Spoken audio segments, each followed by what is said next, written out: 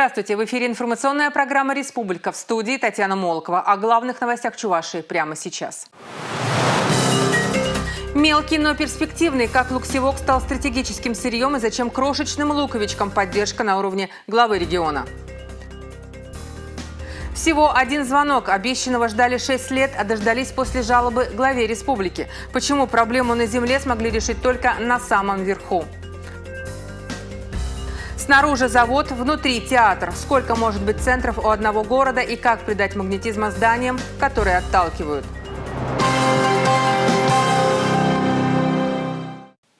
В Чебоксарах на улице Чернышевского произошло ЧП. Во время строительных работ экскаватор повредил газопровод. Началось возгорание и прогремел взрыв. Вот что сообщили республике Следственному управлению регионального следственного комитета. На место происшествия незамедлительно прибыла следственно-оперативная группа Следственного комитета по. В настоящее время проводится его тщательный осмотр, опрашиваются очевидцы произошедшего, проводятся иные необходимые мероприятия, направленные на установление всех обстоятельств произошедшего. В случае установления в ходе проверки причинения крупного ущерба, который согласно норме статьи Уголовного кодекса составляет более 500 тысяч рублей, следователям будет решаться вопрос о возбуждении по данному факту уголовного дела. Подробности произошедшего уже в следующих выпусках программы «Республика», а сейчас к другим темам. Экспортный продукт «Луксивок» из Чуваши пользуется спросом за рубежом. За ним приезжают из Беларуси, Казахстана и других сопредельных государств. Сейчас в Батревском районе началась уборка лука-севка. Как выращивают эту стратегическую культуру и какими темпами идет уборочная? Дождливая погода – не повод сидеть по домам. Поля раскисшие от воды, работа кипит в ангаре. Лук-севок надо просушить и отсортировать. Севок нормальный, такой же, наверное, как в прошлом году. Зимой праве, э, правеем через аппарат и сетки затариваем. На продажу приготавливаем. Чтобы урожай был хороший, после посева его поливают и пропалывают. Придирчиво осматривают каждую грядку. В руках побывает буквально каждая луковичка. Отсюда и урожай хороший, и спрос не падает. Выращиваем севок на площади 25 гектаров. Э, ну, в этом году она э, созрела раньше, чем в прошлом году погодные условия, хотя, хотя сеяли чуть попозже, но все культуры, вот особый год, все культуры поспели в этом году раньше. В этом году на уборку урожая от пшеницы до лука, севка и горчицы вышли на неделю раньше. 7 июля в Чувашии скошено более 95 тысяч гектаров. Это треть от посевов. Вся посевная площадь под урожай 2021 года составит 550 тысяч гектар. Сельхозтоваропроизводителям республики предстоит убрать 303,2 тысяч гектар зерновых и зернобобовых культур, 5000 гектар картофеля, 850 гектар овощей открытого грунта. Лидеры по жатве – Канашский и Яльчикский районы. Здесь и урожайность традиционно высокая. Однако анализировать ситуацию будут уже поздней осенью, когда техника встанет в зимние ангары, а хозяйства отчитаются об успехах и о реализации федеральных и региональных программах поддержках отрасли. Если погода позволит, то уборочную планируют завершить в ближайшие три недели. Лариса Васильева, Татьяна Раевская, Павел Редков, Республика. Планы развития сразу двух районов Яльчикского и Батревского обсуждали на Высшем экономическом совете республики под председательством главы региона Олега Николаева. Так, в Батревском делают ставку на аграрно-промышленный комплекс. Там готовятся к запуску промышленного парка и двух площадок для новых кооперативов. А это, очевидно, новые возможности открывает. И причем новые возможности открывать не только для Батревского района, очевидно, и для соседних районов, и для Яльчинского, и для Шимушинского. Потому что в рамках а, концепции развития или стратегии развития республики, очевидно, мы должны вот такие межрегиональные центры создавать в рамках, ну здесь говоря межрегиональные, может быть даже межмуниципальные будет правильно звучать, центры, которые будут э, как раз концентрированно э, вот, продвигать э, те возможности этих муниципальных образований, с другой стороны, как раз обеспечивать людей той деятельностью, которая будет востребована, которая будет позволять повышать поступательное качество жизни на этих территориях, ну и, очевидно, Э, создавать соответствующие настроения и ожидания, а вот эти последние настроения и ожидания являются зачастую более главными. После обращения на горячую линию главы региона решение о газификации домов, которые строили многодетные семьи в городе Шумерле, принято. Голубое топливо подведут не в следующем году, как сообщалось ранее, а уже к концу этого. Напомню, коллегу Николаеву обратился Сергей Касаткин, отец ребенка-инвалида, и пожаловался, что уже 6 лет добивается подключения к газу. Однако местные чиновники каждый раз, что называется, кормят его обещаниями, и дело с мертвой точки не двигается. После вмешательства в ситуацию главы Чуваши заявка на подключение принята. При этом оставшиеся домовладения будут газифицированы после оформления права собственности в установленном законом порядке. В рамках реализации программы до газификации э, главой республики принято решение о создании штаба. Сейчас э, в эту неделю будут сформированы списки. Часть будет газифицирована, где есть э, возможности газифицированы уже в этом году. Как раз жители города Шумерля по данным улицам попадают э, в первый период до газификации. Там, где это сделать более проблематично, вопрос будет закрыт до конца следующего года. Собрать за один день шесть трансформаторных подстанций – такой вызов бросили организаторы конкурса профессионального мастерства электромонтажникам Чебоксарского электромеханического завода. За дело взялись две бригады по 12 человек в каждой. Вместе со специалистами разобраться в схемах и проводах попыталась и моя коллега Татьяна Трофимова. Сейчас мы подключаем амперметр, вольтметр. Вот у нас подстанция, с другой стороны трансформаторный отсек, там высокая сторона, здесь сторона рун, низкая сторона. И как бы все. Надо работать. Процесс обработки шин. По ним будет электричество бегать. Работа кипит с самого утра. Максимум внимания и сосредоточенности. У каждого своя зона ответственности. У каждого провода есть свой адрес. И по адресу надо правильно подключать. Надо быть очень внимательным, потому что если неправильно подключишь, то может прибор сгореть, то ли подстанция. Если что-то пойдет не так, придется все разобрать и начать сначала. А это время. Поэтому все стараются не подвести команду. Работа ювелирная. Результат один на всех. Готовое изделие, которое идет на рынок. Ну, основным направлением нашей деятельности является производство электротехнического и энергетического оборудования. Э, основными нашими заказчиками являются такие огромные именитые предприятия, которые занимаются газонефтедобычей. А, также поставляется на металлургические отрасли и машиностроительные. И в то же время мы обеспечиваем надежные, надлежащие работы отрасли ЖКХ. Чебоксарскому электромеханическому заводу 20 лет. Со дня создания предприятия здесь делали ставки на молодых и перспективных. После техникума вуза брали и берут без опыта и даже приглашают на работу сразу после практики. Карьерный рост – обязательное условие не претендента на должность, а работодателя. Игорь Яранцев пять лет назад, сразу после университета, пришел на завод технологом. Сегодня уже знает все о сборе трансформаторных подстанций.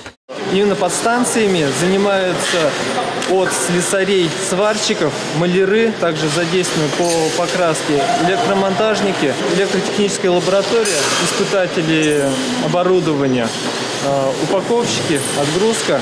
Э, контролем, контроль продукции осуществляет технологический отдел. И совсем не важно, какая бригада победила в конкурсе профессионального мастерства. Главное, подстанции собраны и отправятся на службу на север страны. Татьяна Трофимова, Сергей Емельянов, Республика. Впервые в Чебоксарах программа «Городские практики». В столичном театре оперы и балета собрались архитекторы из разных регионов страны на двухдневный воркшоп. Как превратить серую городскую застройку в центре притяжения? И можно ли из театра сделать космодром? Наталья Мальчикова сегодня познакомилась с проектами будущего. Течение двух дней архитекторы активно генерировали идеи вокруг вот этого здания. Бетон, даже без стекла. Что-то среднее между элеватором и аэропортом. Памятник модернизма, театр оперы и балета. Вдохнуть серый монолит новую жизнь, не вмешиваясь в привычный ход премьер и репетиции. Задача для тех, кто мыслит глобально, свежо и дерзко. Мы хотим эту башню превратить в такое современное молодежное место встреч, движений, новых интересных проектов. Кафе под открытым небом или экосад на крыше, вертикальные световые инсталляции как точка притяжения для любителей селфи, десятки идей от лучших градостроителей, вызывающие и успокаивающие проекты. Театр по-прежнему с вешалки, идеи с мозгового штурма. 35 человек на 4 команды. Одна цель на всех. Я не знал, что есть такое количество неравнодушных людей в Чувашии, так или иначе связано с архитектурой, с урбанистикой, которыми, э, чьими силами мы можем выработать такие концепции. Концепции были разные, а, но самое важное, что эти люди а, давали многие такие провокационные идеи, а, которые заставили даже нас, другое поколение людей, немного пересмотреть свой ассоциативный ряд по отношению к этому театру. Закрытый и холодный, таким он видится сегодня некоторым архитекторам. Александра Малина со своими коллегами два дня ломала голову над тем, как сделать театр центром притяжения не только для тех, кто живет партитурами и клавирами, нотными партиями и ПТД отличает от фуэте. Мы хотели немножко пофантазировать о будущем театра, о том, какую он роль может играть для города, как бы открыть его для горожан. Такой взрывной какой-то марафон. Нужно было придумывать самое что-то невероятное. Мы смотрели, чего не хватает городу, республике, что мы можем а, применить в проекте нового. И мы старались посмотреть, конечно же, очень широко, да, то есть не зацикливать себя на каких-то одних и тех же повторяющихся функциях, да, но условно вот есть театр, там к нему можно сделать там кафе или там коворкинг, ну такие какие-то базовые понятные вещи. Результатом масштабной работы организатор отмечает, что образовательная площадка стала не просто местом для обмена опытом. Молодые архитекторы смогли наладить контакты для разработки уже совместных проектов. И это позволит по-новому взглянуть на планы развития городов. Чебоксара в их списке. Наталья Мальчикова, Павел Рахитин. Республика.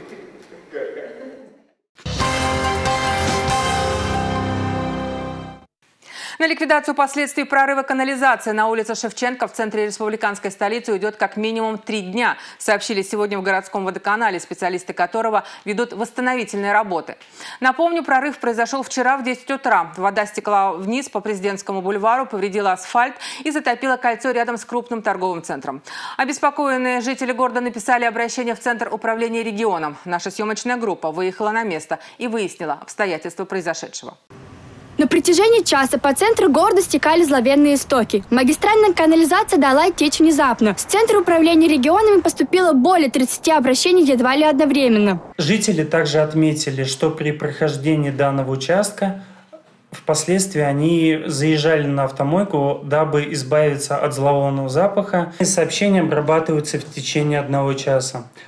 А, по данному инциденту были назначены исполнителем администрации города Чебоксары. В течение часа на место происшествия прибыли аварийные службы. Больше часа потребовалось, чтобы перекрыть трубу. Только после этого так называемый напорный коллектор начал латать. Протяженность от этого напорной нитки полтора километра, то есть, представляете, тысячи миллиметров диаметр, а, порожнить такой поток. Э, из-за этого время ушло на слив и опорожнение этой нитки более двух с половиной часов. В час ночи все работы завершили. Сегодня работы мы поставили эту напорную линию под напор. Э, проверяем сейчас ее герметичность. Значит, э, запускать будем, как она заполнится, будем запускать и по обоим ниткам работать. И приступили к ямоч... Э, значит, восстановлению благоустройства. Там тротуар поврежден, ну и газонная часть. В течение трех дней все полностью будет восстановлено. Сейчас мы находимся на месте аварии и видим, что на данный момент проведены необходимые работы. Устранен неприятный запах, который беспокоил жителей. Огорожена яма, откуда текла вода. Однако этот участок тротуара приносит неудобства пешеходам. По стечению обстоятельств или злому умыслу выяснят специалисты. В то же время канализационные воды потекли по Новоюжному району и тоже возле торгового центра. Вчера ближе к 8 э, часам вечера я возвращалась с Мадагаскара э, на машине. Едем, и вдруг я вижу, что вода на асфальте. Я сначала подумала, что был дождик, а вдруг а, прям в нос ударил резкий неприятный запах. И я сразу поняла, что это канализация. Пришлось проехать прямо над э, люком, из которого сочилась вода, э, и вся машина пропахла отходами. Это было жутко неприятно, из-за этого даже пришлось поехать в автомойку помыть машину. Причинно-следственную связь между происшествиями установят позже. Сейчас есть силы на восстановление дороги тротуаров. Система канализации к этому часу работает в штатном режиме. Наталья Гордеева и Игорь Зверев. 172 миллиона рублей за полгода перевели жители Чуваши интернет-мошенникам. Такие цифры озвучили в интервью программе «Республика» в региональном управлении уголовного розыска. Как говорят полицейские, таких случаев становится не просто больше. Схемы становятся все изощреннее и даже изящнее. Люди снова и снова теряют сотни тысяч, а то и миллионы рублей. Злоумышленники, наоборот, становятся богаче, но становятся ли счастливее? Репортеры программы проследили судьбы обманщиков и обманутых. Сколько всего перевели денег?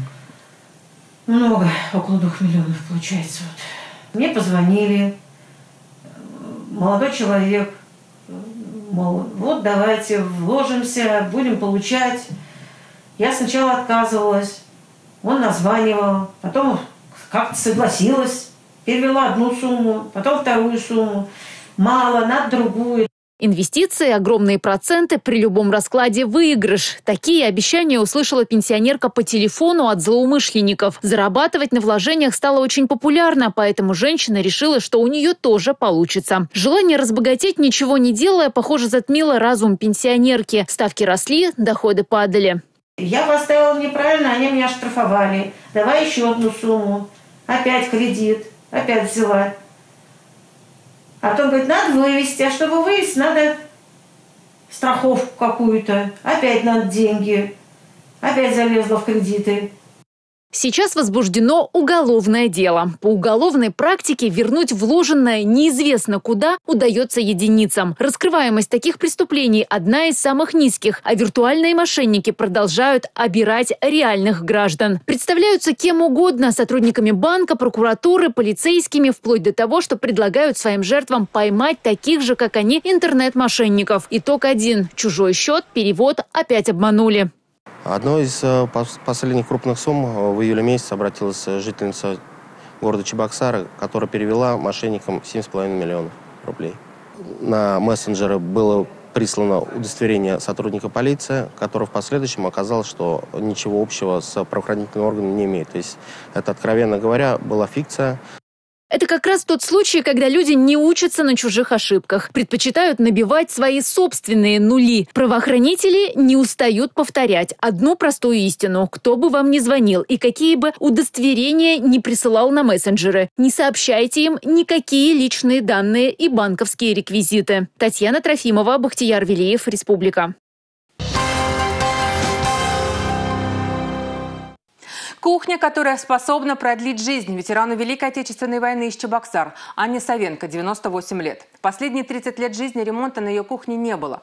Помочь ветерану взялся активист партии «Единая Россия» Размик Мамиконян. И вот в квартире Анны Ивановны появилась новая кухня. Теперь вместе с квартирой изменилась и ее жизнь. Здравствуйте, здравствуйте, миленькая, здравствуйте. Здравствуйте, очень вам рада. Гостям Анна Ивановна рада как никогда. Несмотря на свой почтенный возраст, ей 98, любит готовить и угощать. Новая кухня, новые кулинарные шедевры. Я люблю готовить. Я люблю очень-очень готовить. Вот, и встречать гостей. Что-нибудь я вычитаю или что-нибудь услышу по телевизору – я обязательно должна проверить, как у меня получится. И получается всегда неплохо. Между прочим, всегда гости хвалят. Анна Ивановна ведет здоровый образ жизни, занимается скандинавской ходьбой, читает статьи о правильном питании и много ходит пешком. 8 тысяч шагов в день для нее не предел. К здоровью относится исключительно ответственно. Ответственность у нее вообще в крови. А как иначе? Подчинялась этому представителям ЦК партии парт это Москвы за мной, за моей спиной стоял человек и ждал, когда я приму депешу немецкую, uh-huh, понимаешь ли? Вот так вот так меня особенно ценили. Теперь она ценит свою новую кухню. Очень симпатично, очень беленько все, так нежненько. Ой, ой, ой, товарищи дорогие. Вместе с кухней начала преображаться и вся квартира. Ремонт в самом разгаре. Но самое главное, что изменилось, это отношение Анны Ивановны к жизни. Я захожу, я не верю своим глазам. Да неужели это моя кухня будет? Я говорю, ой, умирать я не буду больше, я буду жить дальше. Обновить кухню Анне Савенко взялся активист партии «Единая Россия» Размик Мамиканян после посещения ветерана 9 мая. За два месяца решение притворилось в жизнь. И очень здорово, что и «Единой России» получается это отношение к нашим старшим товарищам, к нашим живым примерам в нашей жизни, к нашим наставникам выражать свое отношение не только законодательно, не только в написании законодательных инициатив, принятии закона, но и в том числе а, организовывая, помогая организовывать их жизнь а, где-то в быту, где-то упростить что-то, лишний раз присмотреть. Ольга Алексеева, Павел Ракитин, Сергей Емельянов, Республика. В республике завершился прием документов на регистрацию списков кандидатов в парламент Чуваши по единому избирательному округу. В предвыборной гонке продолжают участвовать 608 кандидатов от политических партий и самовыдвиженцы. Из них по 22 одномандатным округам борьбу за кресло депутата продолжат 122 кандидата. По разным причинам выбыли из предвыборной гонки 20 человек. По единому избирательному округу в предвыборной гонке продолжают участвовать 486 кандидатов от 10 политических партий. Также сегодня заработал механизм мобильного мобильный избиратель. Теперь можно проголосовать по месту нахождения, а не месту регистрации. Для этого нужно до 13 сентября подать заявление в электронном виде через портал госуслуг, либо прийти в ближайший многофункциональный центр или территориальную избирательную комиссию. Кандидаты в депутаты Госдумы начали подавать документы на регистрацию. По Канашскому одномандатному округу номер 37 изъявил желание баллотироваться представитель Российской экологической партии «Зеленые» Александр Воробьев. С февраля 20 по апрель 21 года он исполнял обязанности министра природных ресурсов и экологии республики. Также сегодня документы на регистрацию сдали представители партии «Родина» Эдуард Романов и Сергей Павлов. Они идут по Канашскому одномандатному округу номер 37 и Чебоксарскому округу номер 38 соответственно соответственно. В ближайшие дни республиканская ЦИК проверит порядок выдвижения кандидатов и примет решение об их регистрации. На сегодня документы на регистрацию кандидатами в депутаты Госдумы представили 16 человек. На данный момент 5 зарегистрированных кандидатов. День прокуратуры Чувашии отметили в республике. В августе 22 года первым прокурором автономной области стал Александр Лбов. Дата назначения стала хоть и неофициальным, но красным днем календаря. Созданная 99 лет назад прокуратура Чувашской республики и сегодня верна своей высокой миссии – отстаивать законные интересы граждан и государства. В знаменование даты дружная семья Михайловых отправилась на Эльбрус. Екатерина Шеверова побывала в гостях у альпинистов и выяснилось, что восхождение в честь профессионального праздника работников республиканской Республиканской прокуратуры не просто так. Правопорядок в стране и доверие граждан во многом зависят от профессионализма и ответственного отношения к своим обязанностям сотрудников прокуратуры. Работа требует стойкости в характере, острого ума и внимательности к деталям. Ярким примером является Максим Михайлов. Все эти качества он развивал в себе с детства. Отличник в школе, кандидат мастера спорта по самбо и мастер спорта по дзюдо. Сегодня силой знаний защищает закон. Одно из самых важных – это мотивация, потому что прокурорский работник не может не подняться, когда все правоохранительные органы поднялись. И плюс напутственное слово прокурора, когда он э, на официальном мероприятии вручает флаг, говорит Максим, ты должен подняться, боевая задача стоит, надо исполнять. И это тоже немаловажный фактор, когда ты поднимаешься, понимаешь, что как ты приедешь домой, как ты посмотришь прокурору в глаза и скажешь, я не смог. Но он смог вместе со своей семьей. Было непросто. Михайлова семья спортивная, но за полгода перед походом их стандартные тренировки сменились. Стало больше кросса. Мы с Мариной изобрели значит, свой способ подготовки. Мы у музыкального театра, там, где вот у нас эти красивые ступеньки к заливу, выбрали самый крутой спуск, брали трекинговые палки и 45 минут поднимаешься вверх-вниз, вверх-вниз. После чего делаешь 15-минутный перерывчик, еще 45 минут вверх-вниз, вверх-вниз. Дружную семью не пугали ни погодные условия, ни акклиматизация, ни тяжелое снаряжение. Одни горные ботинки с кошками, крюками для карабкания по льду весят по 3,5 килограмма. Тяжелители на ноги и вперед. По 5-10 километров. Потому что само восхождение у нас заняло с часу ночи до 11 утра. Да? То есть вот представьте, столько времени ты просто шагаешь. Да, пусть медленно, но это очень тяжело, потому что горная болезнь, она, она накрывает всех без исключения. 5642 метра, 10 дней в пути, но цель поставлена – донести флаг прокуратуры, выполнить обещание. Из последних сил, и вот она вершина. А после привычного мышцам подъема спуск оказался не легче. сделали это. В Чебоксарах, ну, из 500 тысяч, наверное, тысяча в лучшем случае бывает. То есть мы стали теми людьми, одни из, кто это сделал. Это придает какую-то чуточку особенности, наверное, придает реальной силы каким-то новым совершениям, потому что мы сделали больше, чем многие люди. Восхождение на Эльбрус с флагом прокуратуры республики семья Михайловых посвятила предстоящему двойному юбилею столетию прокуратуры Чувашии и трехсотлетию прокуратуры России. И кто сказал, что заранее не поздравляют? Екатерина Шеверова, Сергей Емельянов, Республика. Сегодня в стране отмечают День ВДВ. Воздушно-десантным войскам России исполнился 91 год. В разных регионах крылатая пехота проводит показательные выступления и выставки военной техники. Центр торжеств, разумеется, Рязань, где учат Родину защищать до последней капли крови. В Чебоксарах мероприятия, посвященные памятной дате, сосредоточились в мемориальном парке «Победа». Десантники почтили память героев минутой молчания и возложили цветы к вечному огню у монумента славы. Также к памятникам воинам-интернационалистам. После торжественной церемонии прозвучала инициатива установить в республиканской столице памятник дяде Васе. Так в воздушных десантных войсках называют героя Советского Союза Василия Маргелова. Его имя носит Рязанское училище ВДВ. И уже сейчас обсуждают вопрос, где именно будет установлен памятник. Рассматривают рассматриваются два варианта – территория кадетской школы и мемориальный комплекс «Победа». Это история нашей страны, это история доблести ребят, которые отдали свои жизни. И тот характер, который, наверное, есть да, у э, ВДВшников да, или у десантников, это все сформировалось э, с того далекого 79 -го года. То есть была война, Великая Отечественная война, да, и была война в Афганистане, которая сформировала поколение. Нам очень важно помнить историю нашей страны, рассказывать ее нашим детям и гордиться своими отцами, так же, как мы гордимся своими дедушками, да, теми, всеми, кто защищал нашу страну, и через это формировать и чувство любви к своей родине. 173 спортсмена из Чувашии получат персональную стипендию от главы региона. Среди стипендиатов Кристина и Ксения Яковлева из Урмарского района. Сестры занимаются легкой атлетикой и уже вошли в состав сборной России. Это, кстати, одно из главных условий получения стипендии. Рифат Фаткулин встретился со спортсменками.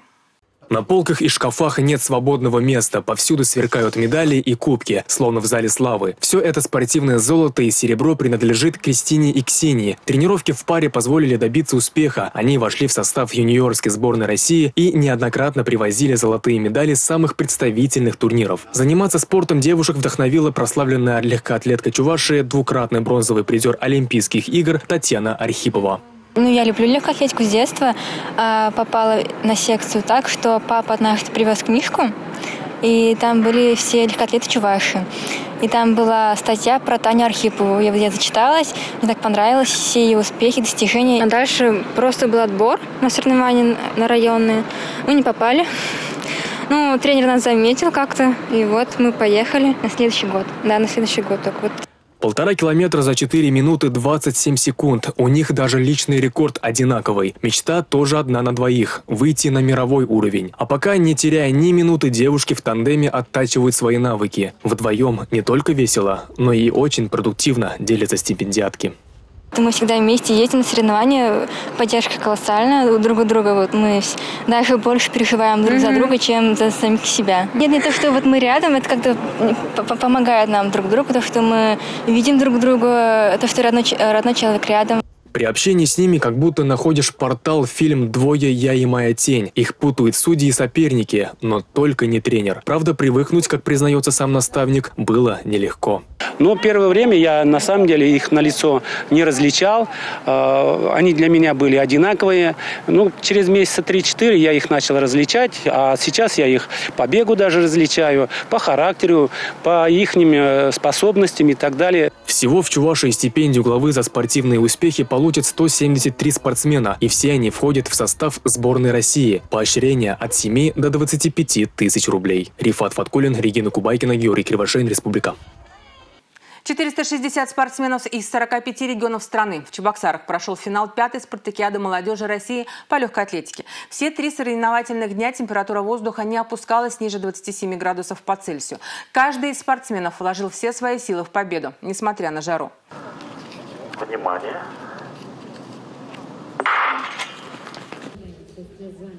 Спортсмены из Чуваши, всего 20 человек участвовали во всех дисциплинах. На высшую ступень пьедестала поднялась только Виктория Максимова. У нее золото в забеге на 200 метров и серебро в 100-метровке.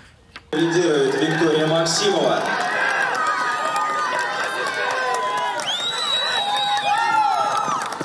Поздравляем спортсменку Виктория Максимова. Интересная ситуация сложилась в прыжках в высоту. Участники с 1 по 13 места показали один и тот же результат – 2 метра ровно. Для определения победителей, тем не менее, перепрыжки не потребовалось. Лидеры определили по сумме сложения баллов. Пятая летняя спартакиада молодежи России по легкой атлетике прошла в Чувашии в рамках федеральной программы «Спорт. Норма жизни» национального проекта «Демография». По итогам соревнований были разыграны 40 комплектов наград.